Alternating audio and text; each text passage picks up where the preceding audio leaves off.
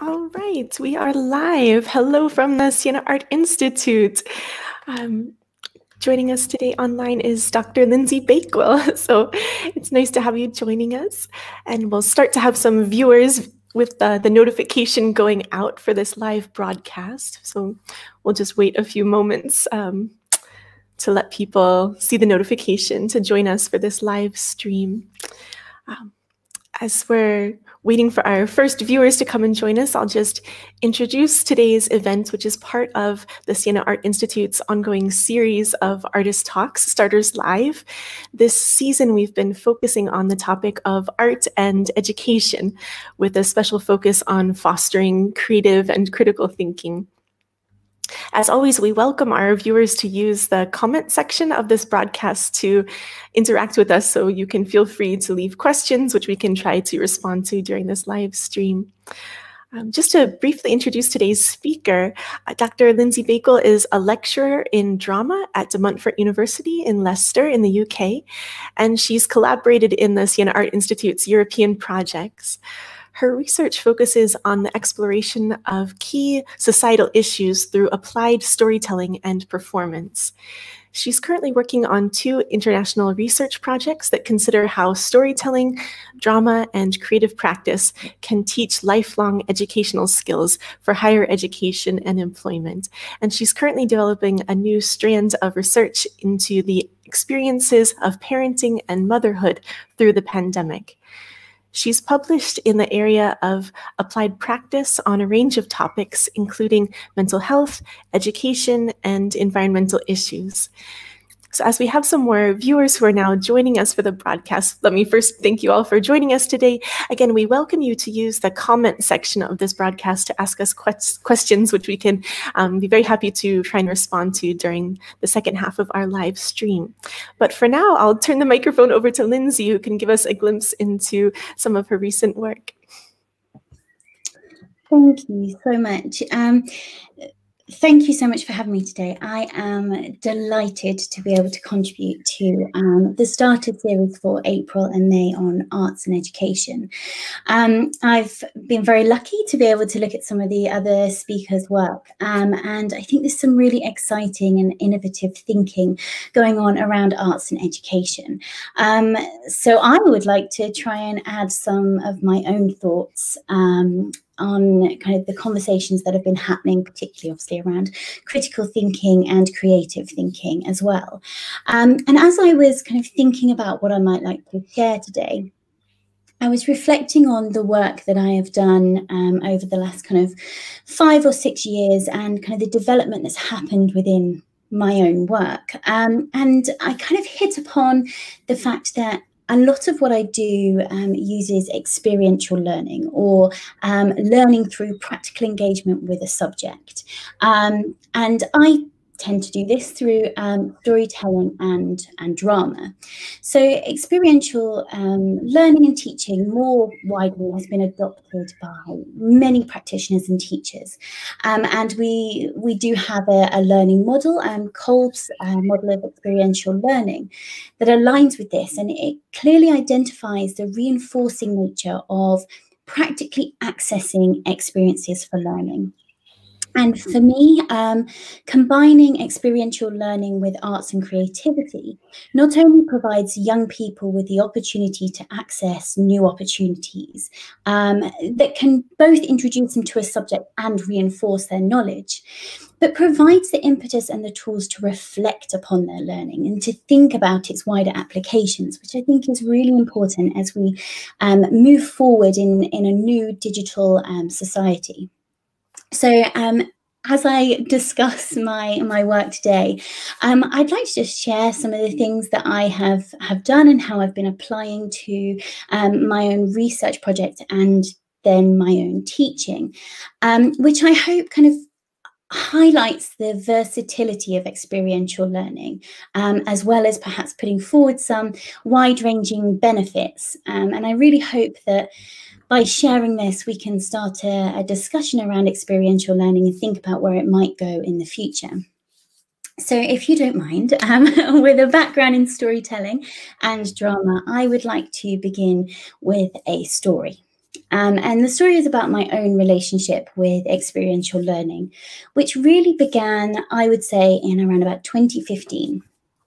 I was at Loughborough University completing my PhD in um, restoration, theatre history, and spectacular performance. Um, something I, I'm still working a little bit, but not kind of the focus of my work. Um, I'd been working on this for, for a couple of years, and I, I I'd been engaging with um, kind of trying to discuss what was happening in the theatre at this time, trying to describe um, what we might see, what we might hear, what we might feel. I had experienced um, kind of practical learning at school and university, so I was trying to get some of these um, plays up on their feet to see what they felt like. Um, being a drama student, that felt quite natural. Um, but I was really kind of hitting a stumbling block when I was coming to the description of what it might feel like to be in the space or what was the kind of complexity of, of the space. And so um, I applied for some some money um, from from Loughborough to go and visit the last surviving 17th century theatre in the world, which is in the the Czech Republic, and this um, this trip was so enlightening in terms of how I started to think about developing my own knowledge and where I could draw knowledge from. So my plan was to um, get to the Czech Republic, visit the theatre, take lots of pictures, write lots of notes down, and then head home and write up a description of what I saw. Now, this particular theatre is inside the castle in Český Krumlov. So, um, if we can have a look at the PowerPoint, the first pictures that I'm going to show you in the PowerPoint are two pictures that were taken um, whilst I was in the theatre. Um, and you will see from these pictures, they are dark. Um, you can make out what's going on, but it's not particularly clear. um, and um, they're perhaps not the best things uh, to use in order to describe the space. Um, but that was my plan. I was going to go and I was going to take these pictures. I was the only visitor at that theatre that day who attempted to take pictures in a space that was kept purposefully dark for presentation.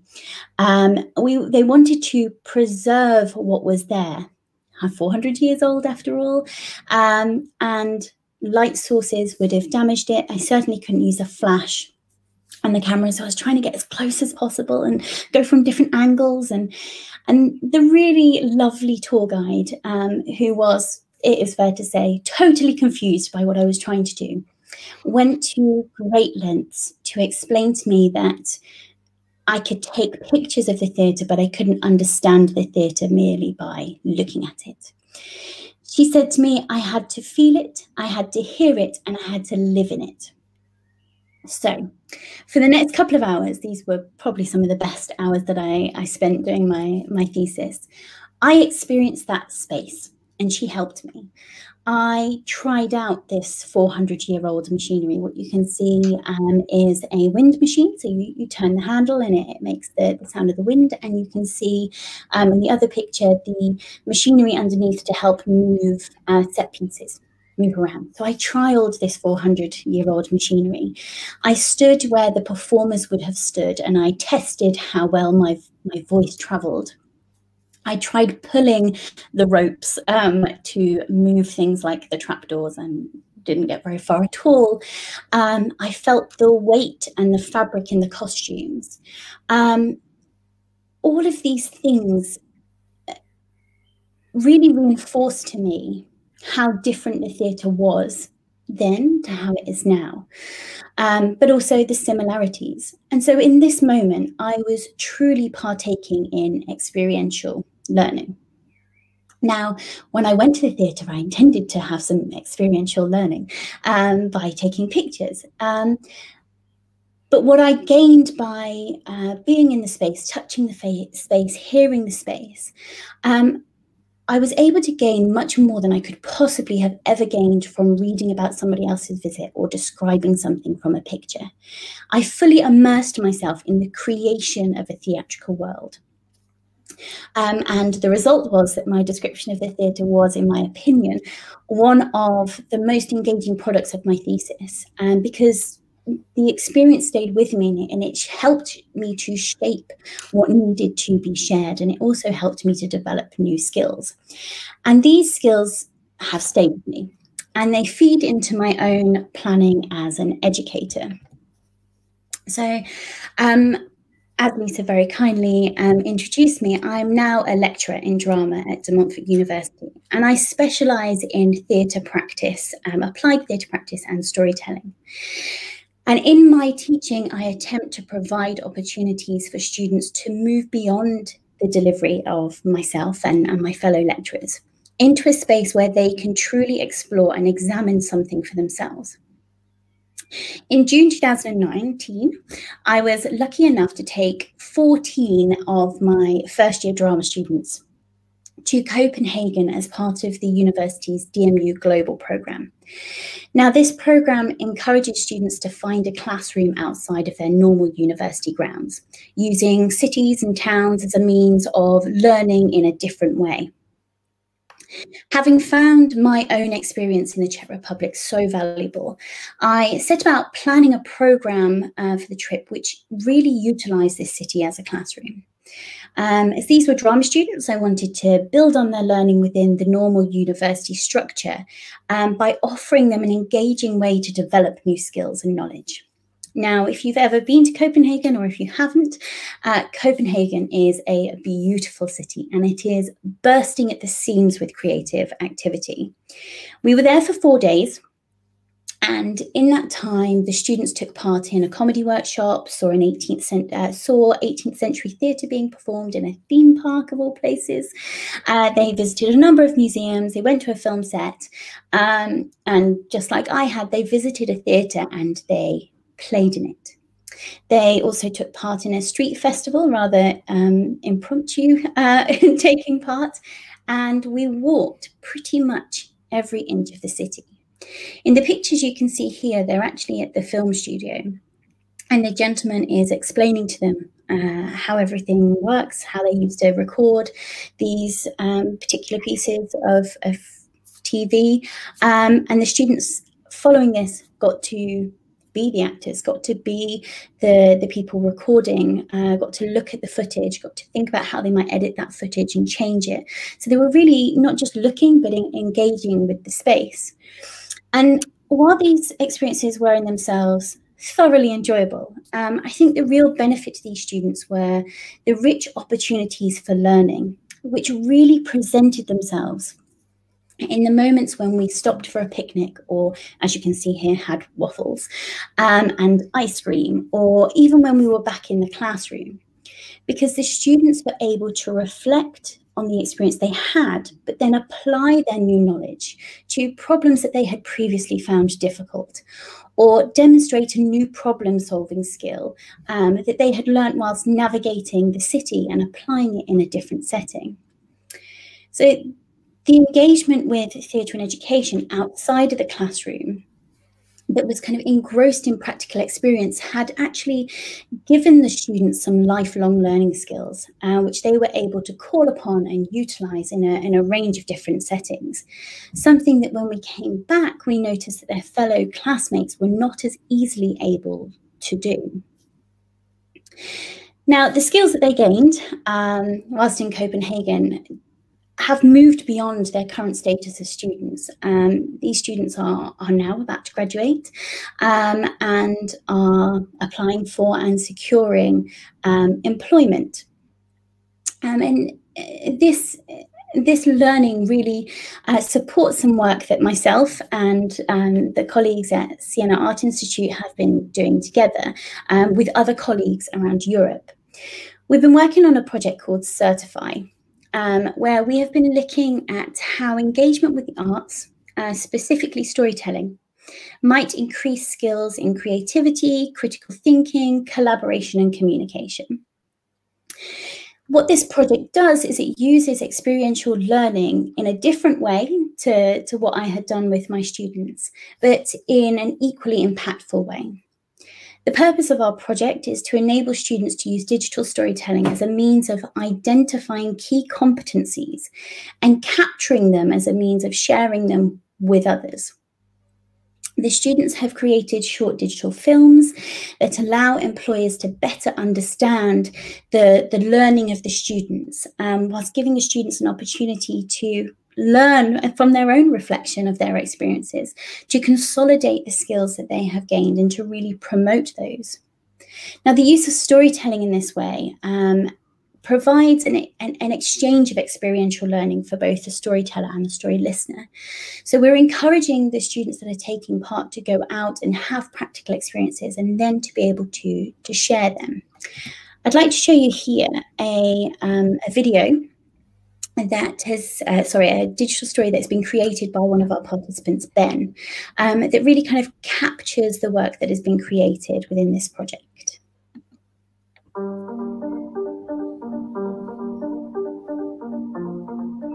This is Freya, my canine companion. She teaches me many lessons, from waking up at sunrise to how to perfect the frisbee throw. But her main lesson is how to ooze every moment. When we eat, we eat. When we sleep, we sleep. When we walk, we run.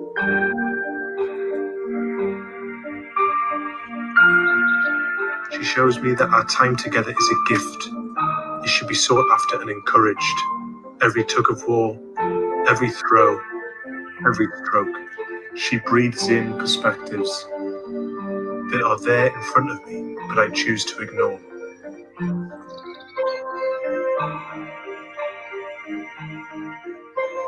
These perspectives encourage me to play and be playful. They unlock creativity see different points of view, experiment with space and time, and look at what is important from different angles to discover new possibilities, to find new adventures.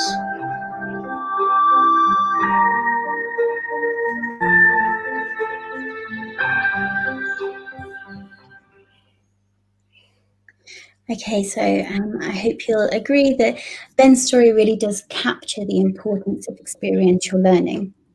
Um, and not only that, but how we can share our experiential learning with others to promote um, our, our skills, our, our learning, um, and our, our abilities.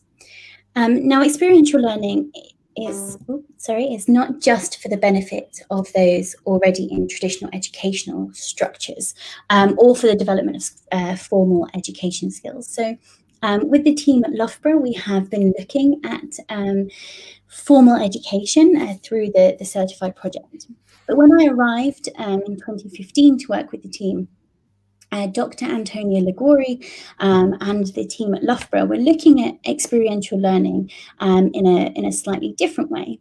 They were working on an Erasmus Plus project. This was my first Erasmus Plus project called DICE, uh, which stood for Digital Innovation and Cultural Heritage Education in Light of 21st Century Learning. So this project sought to understand how storytelling might be used with very, uh, very young students just at the beginning of their educational journey. And it wanted to assess how beneficial it might be um, to use storytelling as a teaching tool for the development of key competencies and aid learning and retention around cultural heritage by active engagement. As part of this project, we were interested in whether or not it was possible to engage children uh, younger than primary school in learning about their own cultural heritage as a means of preparing them for future education. So the project looked very specifically at primary school, but Antonio and I were quite interested in, in what happens prior to primary school. What, what skills can we impart at, at a really young age that use this kind of experiential learning? So um, we planned to do an experiential learning workshop in a museum local to us we invited children um, aging, uh, ranging in age from one to four with, with their parents um, to visit the museum and to learn about the area in which they lived by taking part in a range of practical activities that were suitable for their age, where they could explore objects and stories within the museum. Following this trip, we worked with their parents to create digital stories of their experience. These were designed to act as a lasting reflective reminder and a preservation of the experience. So, what I'd like to share with you now um, is a video of my nephew, who is now five, um, who at the age of one was one of our participants, um, engaging with the artifacts in the museum. Um, my nephew Noah and I had a really interesting experience when we went to this museum because we actually learned an awful lot about our own history, not just the space that we lived in, but our own personal history. Um, so I'll show you the, the video and then um, I'll, I'll tell you a little bit more about it afterwards. Today was Noah's first trip to a museum. He was here to learn about the history of a village in Leicestershire called Barrow upon Soar where his mum and his auntie grew up. As he walked round, Noah soon learnt that he was a really important part of the history of Barrow. Noah learnt that his great, great, great grandma once lived in a house in Barrow upon Soar, and that house was knocked down. And when the house was knocked down, they discovered a dinosaur underneath. This dinosaur is called the Barrow Kipper, and its remains were found in Barrow upon Soar in the 1800s. Here Noah is looking at the model of the Barrow Kipper and learning a little bit more about it.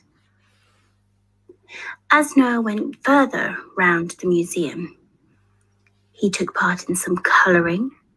He played with some fruit and veg and weighed them up. He had a picture taken with his mummy, and then he saw a sign for Robert Bakewell. We're unsure whether Noah was related to Robert Bakewell, but they have the same surname, so it's very possible. So while Noah was there, he did some reading about him. And before home, Noah sat on the ladybird sofa which is there to celebrate the fact that Loughborough is the home of Ladybird books, books that his mummy used to read when she was little. Noah had a wonderful day learning about his own history and can't wait to return to Loughborough Museum to learn some more. Okay, so um, it was quite a quite a trip for for Noah, myself, and, and my sister, um, getting to grips with kind of the the information that we were receiving. I prior to going did know about the the Barrow Kipper and its kind of place in my own personal history, um, but the information we gained was equally as enlightening for me as I'm sure it will be for Noah as he grows older. So, of course, when Noah attended, he was one. So he has no lasting memory of the actual event. Um, but I do often show him the video of his time in the museum and the day that he helped me do some research. Um, and I have since taken him for a, a couple of other visits. Um, and his early experience within the museum has really sparked a curiosity within him to have similar experiences again and to continue his own cultural heritage learning journey by re engaging through experiential learning with the same space um, and trying to expand his understanding of that knowledge. Um, and so we are researching whether we are related to, to Robert Bakewell. Um, and maybe at some point I can update you to let you know whether or not we are.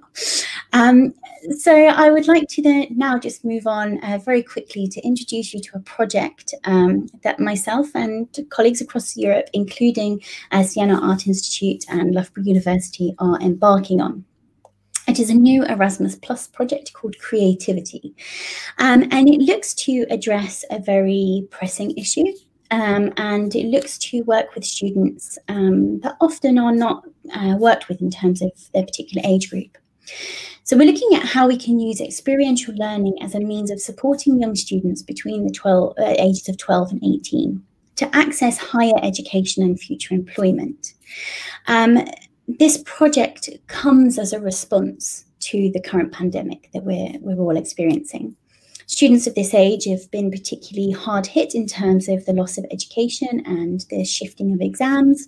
Um, and certainly in the UK, and, and, it appears to be across uh, Europe as well, um, there has been kind of a, a continued reducing of arts within schools. Um, and so what we're planning to do is the development of um, interactive digital workshops that encourage students to get to engage with the spaces around them. So we're thinking about parks and museums and galleries, whilst gaining the key skills in creativity, collaboration, communication and critical thinking. So in this project, we're going to be combining theatre, storytelling, and creative art to offer digitally immersive experiential uh, learning. So this is a new area of experiential learning that is taking place online as a response to our ever-changing world. And it's going to be supported by materials that encourage the students to really get out and about, to not just stay at their computer, but to go and try these things. So we hope that through this work, we'll be able to empower students to regain the control of their own learning and build and document their own skills in a way that enables them to share um, their, their experiences. Um, and, and this is kind of a, an area that I would I'd like us to kind of to pose as an area of consideration. Um, so the project, the creativity project, is looking at how these students can document their experiential learning for other people to experience their learning too and to better understand it. So I'd like to, to pose whether or not we think um, experiential learning it can not only be useful as a kind of retrospective, reflective experience for those who had the original experience, but if through capturing it um, with uh, theatre, storytelling, and, and, creative arts, we can actually make it of benefit to those who are the listener or the viewer. Um, to kind of support my my thinking in this area, I just wanted to show you um, to share with Today you. Today was oh, Noah's first to share with you a few things that we've done at Loughborough that kind of support this kind of thinking. So since 2015, um, myself and the team at Loughborough, this is when we were kind of set up, have applied this method to um, environmental issues such as water shortage and self-sufficiency, societal challenges such as um, seeking asylum and dangerous living conditions, and also educational disadvantage such as adult education. Um, what I'm showing you here are some pictures from a project called Leader that we did. Uh, so this was Loneliness in the Digital Age. And we asked participants to engage in scrapbooking and creating um, materials that could share their experiences as carers.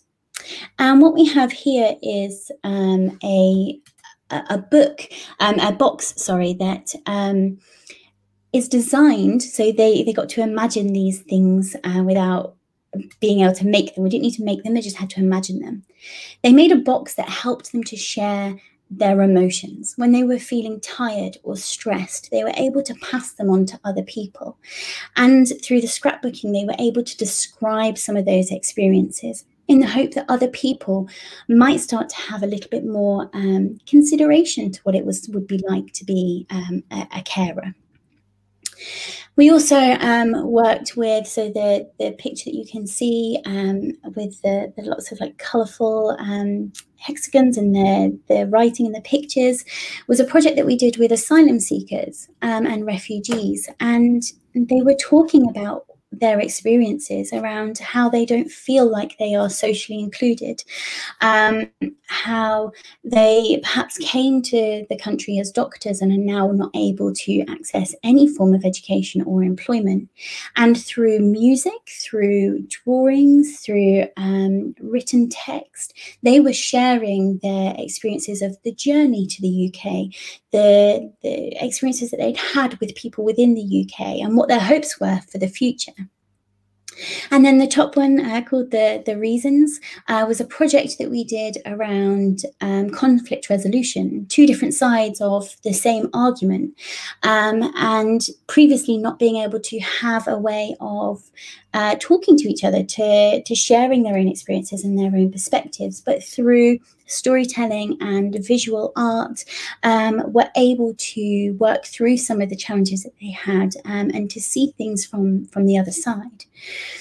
And so um, I'd, I'd like to suggest that all of these projects really support this idea that if we can adopt experiential learning through theatre storytelling and visual art, that actually we might be able to move beyond uh, the learning of an individual to perhaps the learning of a wider community and to really um, create concrete examples of understanding and learning um, that really benefit wider society. Um, and that this might then help us to experience another, be able to um, assess somebody else's needs, or perhaps to continue the educational chain from one student to another. Thank you very much. Um, I would love to answer any questions that you might have. Thank oh, you. Yes. Thank you so much. It was super inspiring to have this glimpse into some of the, the many projects that you're involved with and um, to have a look at some examples of also the work of connected to these projects from mm-hmm. things as complex as a 400 year old theater to as simple as a walk with a dog, but that can still um, offer very rich opportunities for experiential learning. Yeah. And um, we have had a, a, lot of really positive comments um, coming in, as well as a, a few questions. Uh, for example, our um, our director um, Miriam was saying this is so great. I was wondering if these ideas here in reference to the mm-hmm. cultural heritage museums, if the ideas have been taken up by local schools, maybe as a follow-up with slightly older children to engage them creatively and constructively with their heritage. Mm-hmm. Maybe the question simply if Loughborough University works directly with schools so that the research is implemented in longer term, for example. Um, so um, at, at Loughborough and De Montfort, we haven't uh, picked it up with uh, local schools, but um, the um, it was a university in Rome actually um, that was leading the project, and they did take it into to schools, um, and they have subsequently gone on to work with with older children. What we have found to be really great and really inspiring, though, is that um, both myself and uh, De Montfort and Antonio at Loughborough, um, when we have done these projects and we've learned things, we have then kind of shared them with our own students. At De Montfort, we have um, modules that encourage them to go out into schools and to, to do work with them. They do kind of a work experience, um, I suppose. And we have seen storytelling happening within these schools. We have seen digital stories pop up. We have seen them kind of adopt this idea of experiential learning and taking the students outside of the classroom. So, um, yeah, I think it's it, it is it is obviously passing on, and um, I think that our upcoming creativity project will also allow us to to do some of that as well, which will be really nice.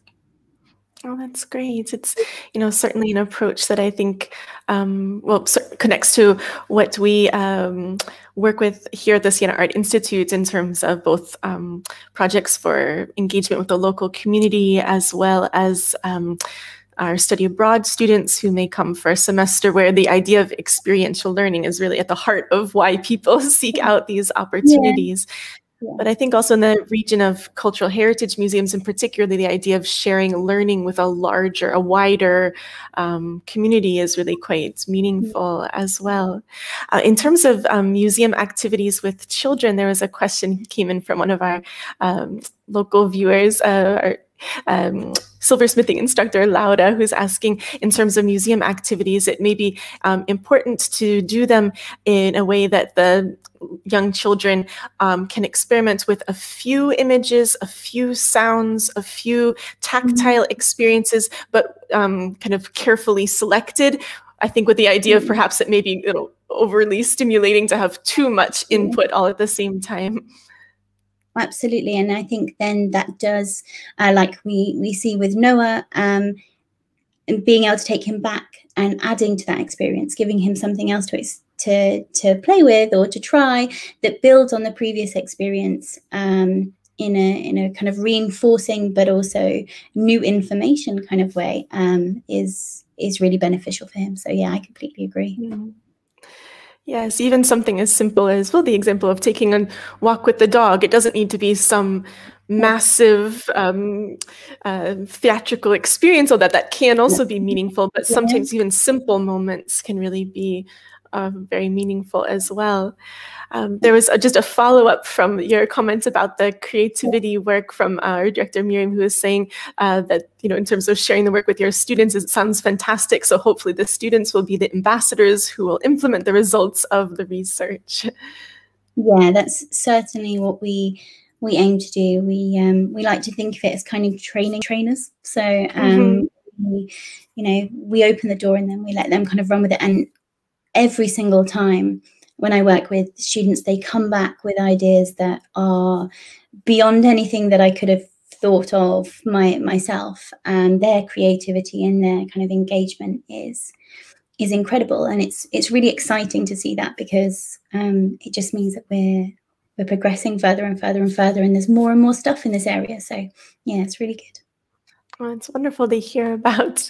And um, well, I probably in the interest of time, we should conclude our discussion for the day, although I would love to keep going. It's really fascinating to hear about your work. But thank you so much for sharing a glimpse into your recent projects with us.